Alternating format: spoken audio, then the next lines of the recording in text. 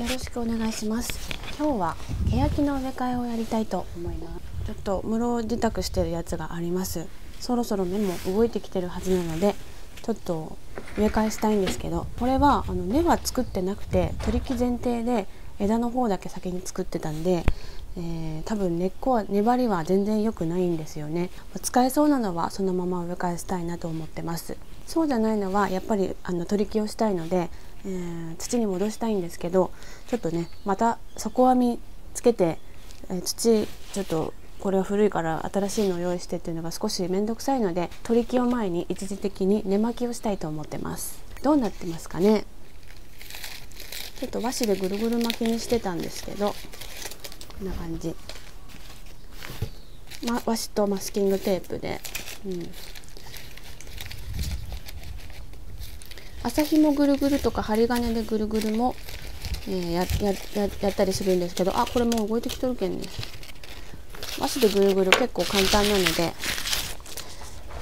こういうやり方をズズボラのやり方をしています、うん。かり束ね束ねとる束束なっとりますね。うん。うん、これはあんまり丈夫な和紙じゃなくて普通のあのダイソーで買ってきたような習字紙なんですけどわこれも目動いとる。ちゃんと問題なく使えてたみたいです。うん動いとるのもあるけどちょっと一回冬の間に水切れ完全に水切れ水切れさせてしまったやつがあって動いてるのもあるけど動いとらんとはあれかな、うん、でも目は生きてますね。よかった。枯れてないみたい。動いてる。はい。これね12246あ10本。ちょっとほぐして。絡んどるけんちょっとほぐして。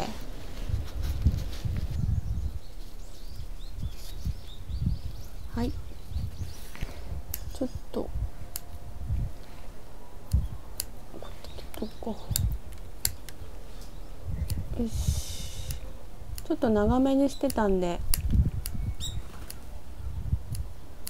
切っておきます。まだ動いてないのもありますけど刃先がからこうねプツプツ動いてきてるのありますので植え替えなりなんなりしないといけなくなってきました、うん。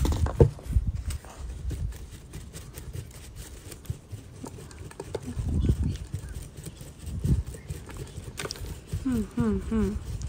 やっぱりな。ここに やっぱりな。ここに。強い根っこがありますね。うん。これはもうどうしようもない根っこですね。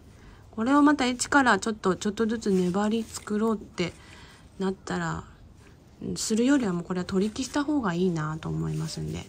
これは取り木行きですね。うん。お？これはどうかな？これはもしかしたらあうん。これもちょっとなんかおかしい感じするな。どうなんだ？ちょっとこの上上の根っこはいらんとして取取るとして。うんこれを面白いと取るかですけどこれもちょっと厳しそうです。あもともと取り木しようと思っとったけんね。うんそりゃね強い根もグリグリなるわ。って感じですけどね。自然に発泡粘りになる気なんてないのかな。それが自然なのかな。じゃあ盆栽って何なんですか。これもダメですね。これもこういう風にこうねじれちゃうんですかね。未生でやって種の向きとかでこうまっすぐ根が降りるかとかも多分あると思うんですけどこうね根元で変なことになってるやつが結構あるんですよね。よいしょ。しゃらくせよしよしあこれはねこれはちょっとこれもちょっとあれなんだけど盆栽的には良くないのかもしれないですけど自分はこれはそのまま使えそうな気配を感じました、うん、これはダメかな？さすがにこれは。さすがにこれはダメっぽいな。これも取り切りだな。うん。どうにも修正できないのはやっぱり取り切りします。10本やってそのうちのこの4本はちょっとやっぱり、ね、根っこの粘りはあんま良くなかったんですけどなんか面白いなと思ってこれ活かして作ってみたいなっていう気持ちになったんででなんかちょっと逆になんか好きになってきちゃったんで これを活かして植え替えしたいなと思ってます。はい、まあそれでもダメだったらね最終的には取りかけてもいいと思うので直根直直根か。直根ね。強い根っこを切り戻すような感じで、まあ、これもね強いけんね。切るしかないよね。こうやって。選んだわけとしてはわりかし根がこう広がってるやつですね。があったんでそれはね作り直せそうかなとなんとなく思いました。で上の方についてる根っことかもは一応切っておいて、まあ、このくらい根を整理して、うん、植え付けて。徐々にね粘り作っていこうかなと。やっぱり取り木よりあの未生の方がここがねここの太りが自然なんで、まあね、未生の良さというのもあるんですよね。もうちょっとこうまっすぐしたらも、う、これで作っていきたいなと思います。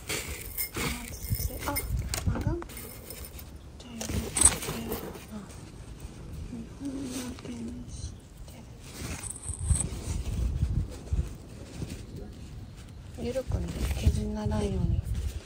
所留めます。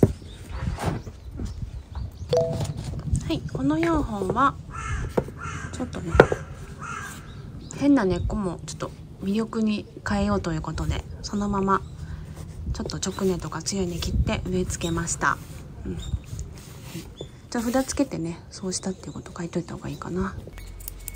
なんかやり直しできなさそうなんでこれも白皮取り木かけてから巻き根巻きしたいと思います。ここの径があるのであんまり短いところで取ってもバランス取れないのバレ取れないんですけどまあそうですね、まあ、このこの辺からまた出したいと思います。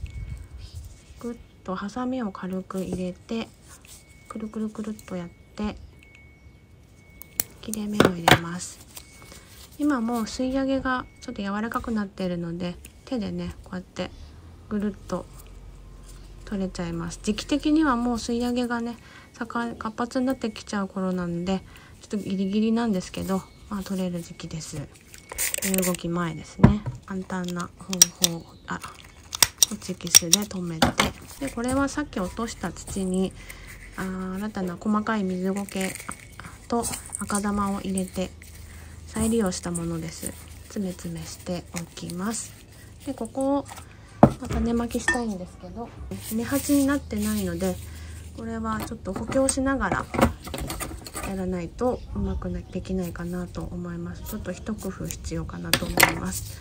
ということでこれは水切りネットキッチン用の水切りネットここにちょっとね土を入れまして土をこう敷きまして根は切らずにこうくるんで入れて土をちょっと周り足しまして根が乾燥しないようにします。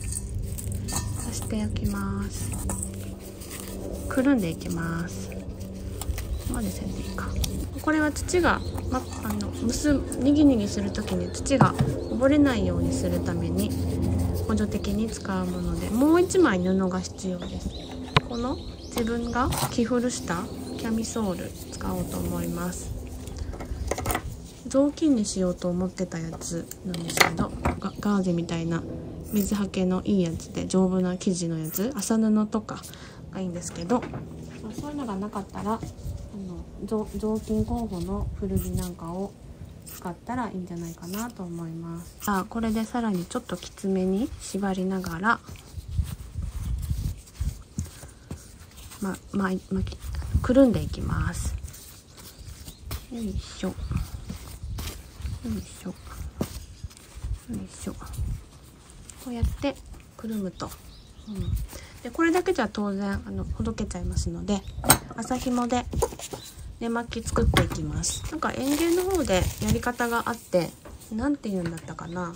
揚げ巻きっていうやり方をやります。他にも3つ掛け2度巻き法とか4つ掛け3度巻き法とかなんかいろいろ複雑な巻き方があるみたいなんですがこういう片手で持てるような小さいものやったらあの揚げ巻きで十分あのしっかり止まると思います。長さはここねあの後で結ぶので余分に長さを取っておいてここで一回下にまっすぐくるっとぐるっと下から巻きます、うん、そしてこの切っておいた短い方の紐が内側に長い方の紐が外側に来るようにクロスしてですあここも直角になるように直角になるように結んでまた下から乗っていってここがクロスするようにします。でまた同じように短い方の紐が内側に長い方が外側に持っていくようにクロスしてでまた下下長い紐下も引っ張っていって手前に持ってくると。はい、でまた同じように短い方をこうクロス内側に巻いてグッと。あこれちょっともうちょっとこっちか。グッと。一周回します。で最後はちょっとあの根巻きの横の方でクロスをしてでここの横の部分をしっかり押さえながら一周。一周してでここで結ぶと。肩結びもうちょっと短かったな、うん、しっかりこう崩れないようになってるのでちょっと汚くなったけど。なんか機会があったら是非、ね、やってみてください。すごい簡単です、はい、これでまあ早くて今年の秋まあ来年の春ぐらいに切り離しできたらいいなと思います。